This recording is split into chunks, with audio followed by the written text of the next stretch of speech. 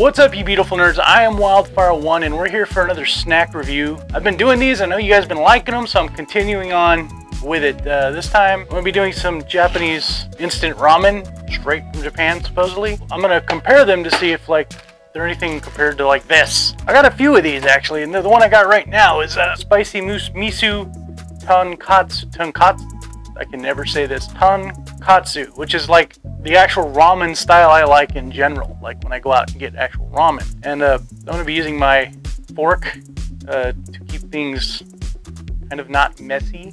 Give this a try. I'm taking the top off, as you see right here. See, I did the I did the prep work. I did all I, I boiled the water and I did the I put it in there and let's see how spicy this is, if anything. Um, I just realized I have nothing to drink. Movie magic. One moment. Bling.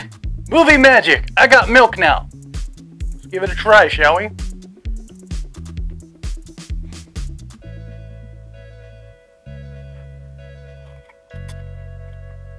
Mmm. Oh, the noodles are amazing.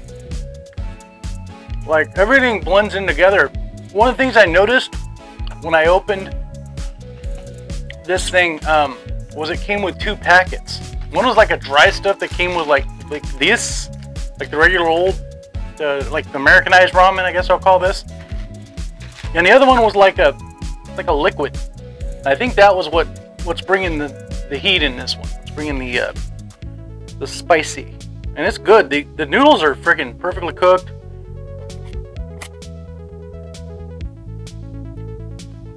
There's so much flavor. There's a lot of flavor in this Let's try the broth.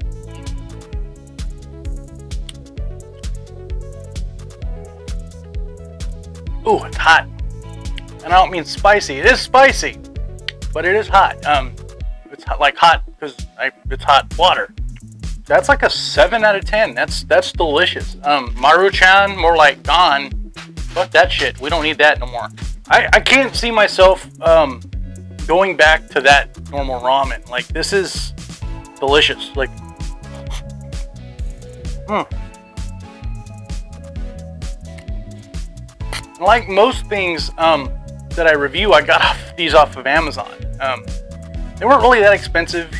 I might have to just keep buying them because this stuff is it's so much better than the normal ramen that you eat, like that, that you get from the store. It doesn't just have just powder. It's not just noodles. There's like little bits and pieces of other things in here, like greens and you know, daydream about there being meat in here, but I, there's no way they can do that with uh, something like this that I know of.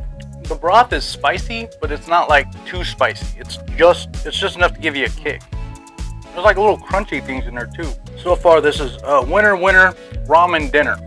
Definitely warms the soul on a cold winter day. I rue the day that I find something that that, that I that I review for you guys and it's gonna be like bad.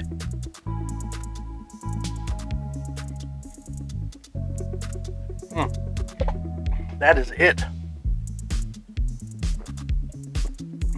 Yeah.